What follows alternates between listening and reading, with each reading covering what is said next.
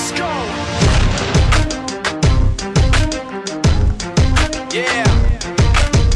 For those of you that want to know what we're all about, it's like this, y'all.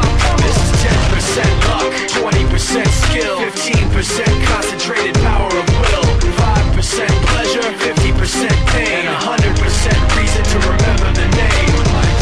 He doesn't need his name up in lights, he just wants to be heard, whether it's the beat or the mic so unlike everybody else alone In spite of the fact that some people still think that they know him But fuck him, he knows the code. It's not about the salary, it's all about reality And making some noise, story. Making sure his click stays up. That means when he puts it down, Tox picking it up. Let's go. Who the hell is he anyway? He never really talks much. Never concerned with status, but still even him starstruck. Humble through opportunities given despite the fact That many misjudge him cause he makes a living from writing raps. Put it together himself, now the picture connects. Never asking for someone's help, or to get some respect. He's only focused on what he wrote. His will is beyond reach And now it all unfolds,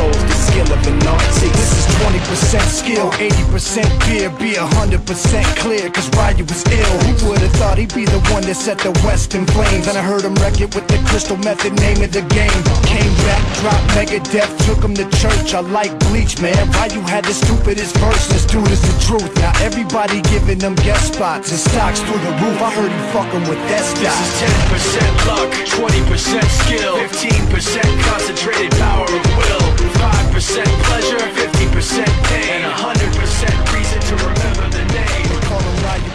and he's spitting fire and Mike. Got him out the dryer, he's hot. Found him in Fort Minor with top